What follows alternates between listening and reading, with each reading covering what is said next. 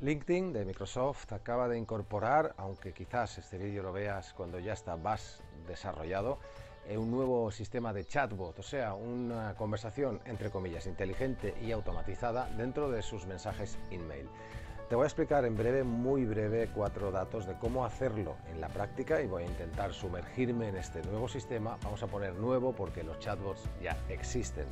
Mi nombre es Juan Jovengual, llevo desde el 88 en marketing y me he especializado en marketing business to business y también un poquito en LinkedIn. ¿Lo vemos? Vamos a ver cómo hacer una campaña o por lo menos empezarla con el nuevo sistema de chatbot o de mensajes un poco automatizados que nos propone LinkedIn.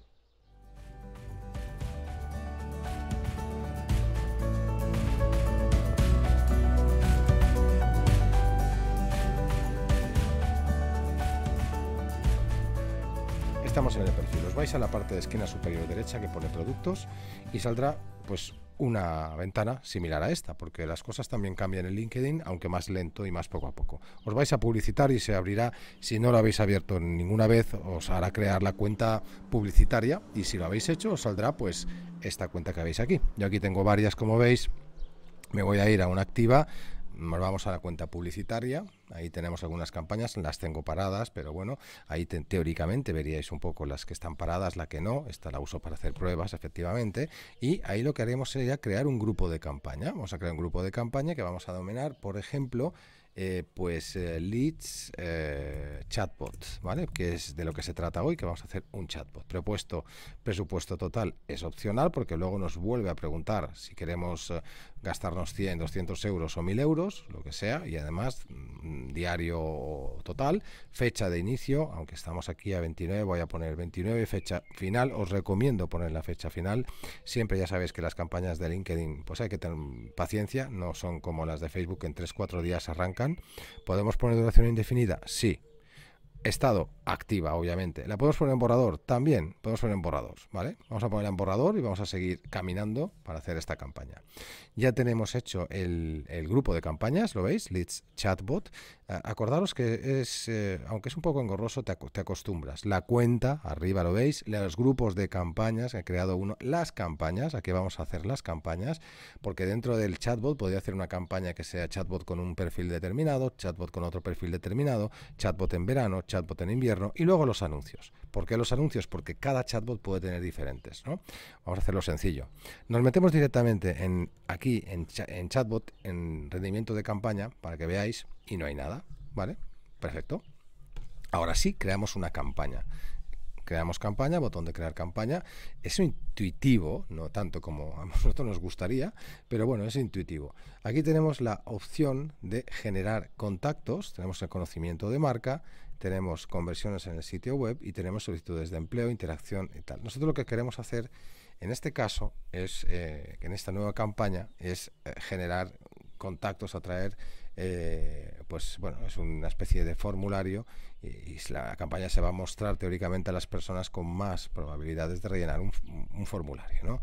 Entonces, lo que más se nos viene ahora mismo, luego veremos el formato de anuncio, sería quizás generar contactos, porque va, va a ser mucho de email. Una vez estamos en generar contactos, vamos a buscar el público.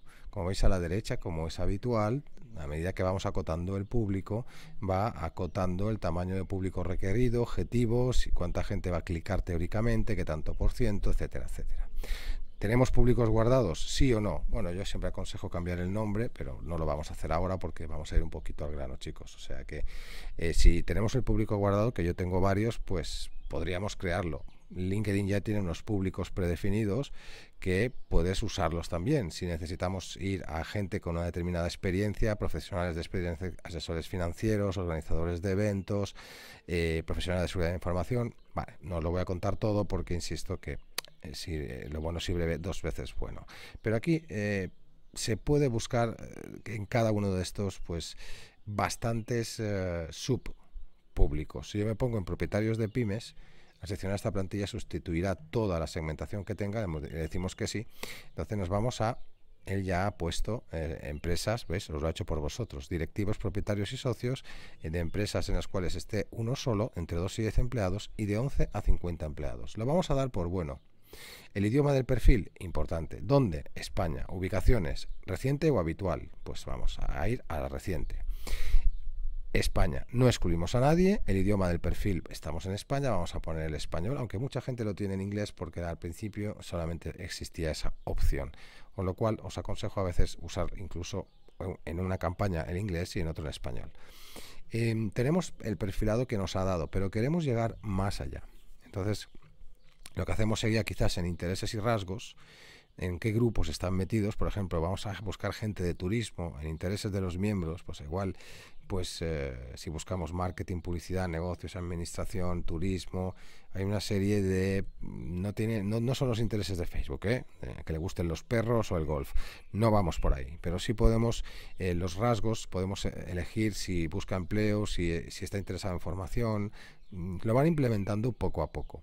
En nuestro caso, pues como vamos a jugar aquí un poquito con un tema de de formación, vamos a poner que sí, que están interesados en formación y que en el caso de intereses de los miembros y rasgos del miembro, pues podemos buscar eh, pues otras cosas. Vamos a poner y además, en este caso, que también, además de estar interesado en formación, que vamos a acotar el público, que resulte que las características que nosotros vamos a buscar es podemos buscar cargar una lista de contactos, que eso sería muy interesante.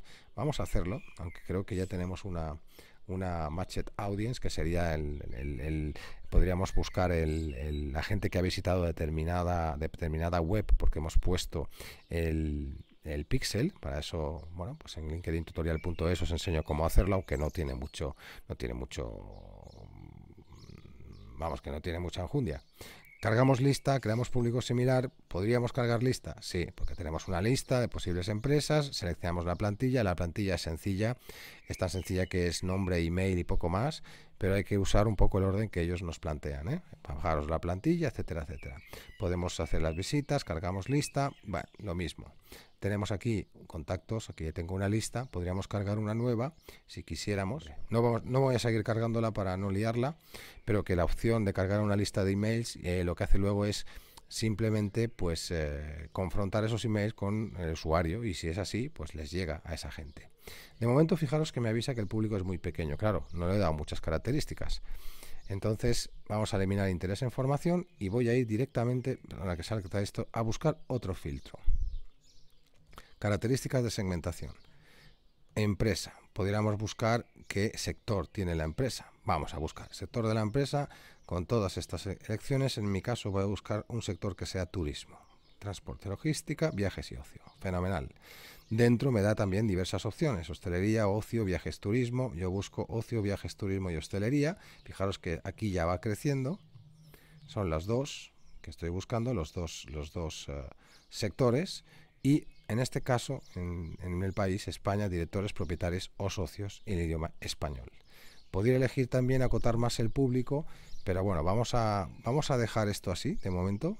Son las opciones de segmentación típicas. Y ahí está, el anuncio en conversación en beta. Son anuncios que aparecen en el buzón de los mensajes de LinkedIn de nuestro público. Ahí es donde quería llegar. ¿Vale?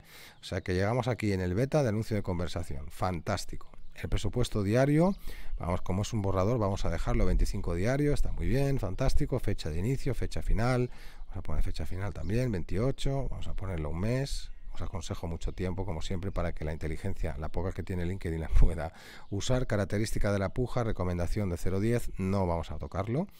Y eh, tampoco vamos a hacer, no hay señal en la web, no vamos a hacer seguimiento de las conversiones. Siguiente punto. Después de guardar, ¿no podemos volver atrás? No volvemos atrás. No te preocupes, señor LinkedIn.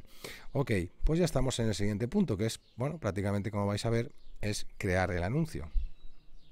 Hemos dicho que vamos a tener una campaña de formato de anuncio que es eh, un chatbot. Creamos el anuncio, ¿vale? Y ahí ponemos, como veis, la vista previa a la derecha, el, vamos a poner el nombre del anuncio, chatbot, prueba, ok. Aquí veis mi cara, eh, ya podéis buscarme, Juan Mengual García, llevo tu marca a otro nivel, marketer. ¿Puedo, ¿Puedo añadir otro remitente? Sí. ¿Puedo poner un banner opcional? Sí, de 300 por 250 JPG hasta 2 megas. Podría cargar un banner con un anuncio, no lo voy a hacer ahora, pero se puede, ¿vale? Pie de mensaje y condiciones personalizadas. Se puede añadir un pie de mensaje con los términos y condiciones legales. ¿Eh? Habrá que crear un formulario de generación de contacto, puesto que eh, la finalidad es precisamente que nos den el mail con un solo botón, todos los datos. ¿no?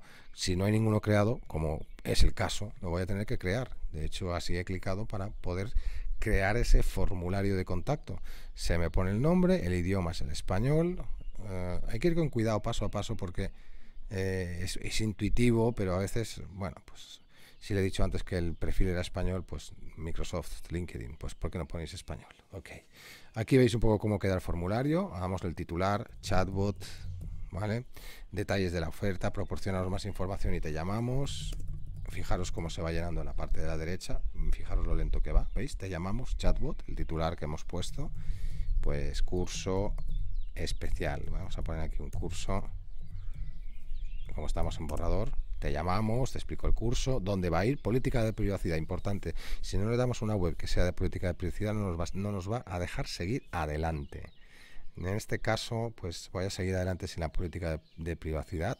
Y aquí, en el segundo, es donde nosotros podemos decirle qué queremos, qué datos queremos de, estas, de estos señores. Nombre, apellidos, email. Yo pondría siempre el teléfono, porque quizás sea un, bueno, una manera que contactemos finalmente con ellos, ¿no? Contactar, y aquí vemos teléfono. ¿Vale? Es estos cuatro datos y a partir de aquí podemos añadir las preguntas personalizadas, ¿no? Eh, pues eh, te interesa el ah, turismo, vamos a dejarlo en uno, con varias opciones.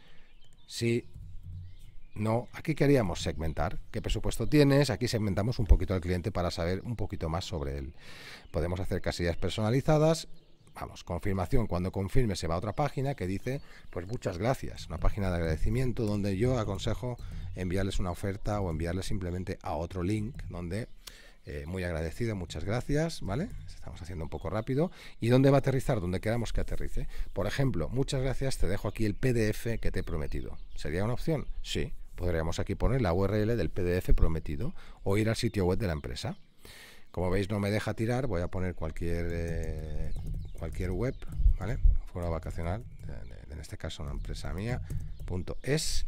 Y ya tenemos aquí, muchas gracias, ir al sitio web de la empresa. O decirle pulsa aquí para bajarte el, el, famoso formulario. Creamos el formulario. Tiene que ser HTTP, vale, venga. HTTPS en este caso. Ahora sí que nos dejará crear el formulario, espero, Dios mediante.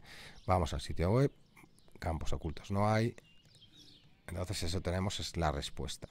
¿Vale? Fijaros cómo queda, lo veis aquí arriba con el logo de la empresa porque las campañas de publicidad, se hacen desde las empresas, el titular, te llamamos, eh, él recoge ya los datos, te interesa el turismo, las preguntas y enviamos, ¿vale? Aquí pone, bueno, pues creamos el formulario, una vez creado el formulario, ahí lo tenemos, si no nos pone problemas, vamos al siguiente paso, que es construir un poquito el chatbot y con estas chatbots, si se le puede llamar chatbot, porque si queréis un chatbot, pues ManyChat, etcétera, etcétera. Aquí tenemos un formulario, ya tenía otro, o sea que fijaros que tenía ya otro hecho, que me lo rechazaron. Ahí lo tenemos, lo señalamos, ¿vale? Podríamos descargar los contactos que hemos pillado en el formulario y creamos la campaña con este formulario. Volvemos otra vez. Perdonadme, estaba aquí. Volvemos atrás. Formulario, ya lo tengo aquí. Siguiente paso. Ahí está. Ahí empezamos a jugar, señoras y señores, amigos y amigas, en lo que es el presunto chatbot de tres cosillas que podemos decir. ¿Qué queremos hacer? Nos, dice unas plantillas. Fichar a nuevos empleados, conseguir donativos y voluntarios, generar inscripciones a eventos, seminarios web, etcétera, etcétera. No voy a decirlas todas porque, o una encuesta simple, o promocionar un podcast. Bueno, está bien que nos den estos que nos den estas opciones, ¿vale? Generar descargas de contenido, por ejemplo, voy a seguir esta. Nos dan estas opciones porque ya vienen prefabricadas. Hola, first name, me llamo, nombre y soy cargo en empresa. Creo que podría interesarte descargar este tipo de contenido que está pensado para propuesta de valor que tú le puedas poner. ¿Te interesa? Sí, me interesa. Quiero ver más. A partir de aquí cogemos esta plantilla y aquí vemos el diagrama de cómo queda. Fijaros, cuando me dice sí me interesa, le respondemos genial, creemos que te va a encantar descargar. ¿Qué más ofrecéis? Más información. ¿Veis aquí la, la ruta de cómo queda el diagrama que estamos generando. Eh, tiene estas plantillas, ¿vale? Hemos elegido una, una prehecha, podemos crear la plantilla con una vacía, pero ya que vamos a ir un poco rápido, vamos al siguiente paso. Y ahí es donde estamos construyendo. Allí sí que vamos a poner si me interesa, el botón donde va, eh, mostrar el siguiente mensaje y a construir la conversación. O sea, es un mensaje, no deja, no deja de ser un mensaje. Se le puede añadir imágenes y todo, te dice que, que, idea, 250 por 250, pero podemos crear una conversación de que cuando él clique en sí me interesa, salte una cosa o salte otra. No es nada nuevo a todos los que estéis habituados a usar ActiveCampaign, ManyChat o ChatFuel. Es bastante fácil. Simplemente es que cuando ellos cliquen en un sitio, te dirija a otro y ahí pasen cosas. Entonces, cuando, pasa, cuando pasan esas cosas, hay un botón de acción que lo puede dirigir a una URL, a un PDF, una dirección de correo o simplemente enviando otro email. Con lo cual parece que estableces una conversación. Yo voy a dejar la que está aquí, sin más, la voy a crear, soluciona errores, claro, me está pidiendo que dónde me descargo el contenido. Bueno, por Dios. Bueno, pues la cuestión es que, dicho esto, ya podemos lanzar la campaña y la vista previa es esta. Cuando yo pulso si me interesa, salta este segundo mensaje donde yo me descargo, ahora no hay ninguna URL, o donde mm, me va otra URL donde pone qué más ofrecéis. No hay opción a que la persona conteste, tiene que tocar un botoncito, al estilo Chatfuel y, chat, y también ManyChat de chatbots, donde ese botoncito le dará una respuesta o lo enviará precisamente a una dirección de correo de correo o de, o de llamada de teléfono o de una dirección de una página web. Así son los chatbots y así son los diagramas de la nueva forma de hacer publicidad que ahora está en beta, en beta tester. En mi opinión tiene un gap, un problema y es que estos mensajes que se envían a los clientes que hemos segmentado aparecen como email y a veces patrocinados y a veces la gente no los abre ese tipo de mensajes. Pero por probar, de todo hay en la viña del Señor y ya sabéis que este marketing, es, este de LinkedIn no es, no es barato, pero vale la pena probarlo y se puede medir, con lo cual eh, te puedes equivocar rápido y en teoría un poquito, un poquito más caro que Facebook y otras plataformas. Espero que esto os haya servido. Probarlo, hay que testearlo, hay que hacer una conversación inteligente, llevarle de un sitio a otro sin marear la perdiz, porque acordaros que lo bueno si breve, dos veces bueno, o como dicen los ingleses, un beso. Kiss. Keep it simple, stupid. Es verdad, no está del todo bien. Eh, evolucionado, quizás solamente son respuestas, autorrespuestas eh, que envían a links, que envían a descargar un PDF, pero bueno, es mucho mejor que lo que había antes. Simplemente se trata de que tú a través de LinkedIn contactes con cualquier otra persona y le envíes un mensaje, que cuando esa persona te conteste una de las tres opciones que tú le pongas, pasen cosas, como descargar un PDF, consultar más, querer más información o que se vaya a una página donde tú le hayas dicho que hay más historias que contar. Esto es el chatbot de LinkedIn y hay que probarlo para que funcione, claro, como todo.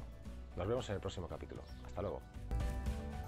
Puedes pulsar aquí para ver el vídeo sobre cómo hacer tener un buen perfil en LinkedIn, que es parte del curso de linkedintutorial.es. Y también puedes pulsar en el vídeo de abajo, en el link que hay aquí abajo, para contactar directamente en comovender.info para que analice tu tema y veamos si llegamos a un acuerdo.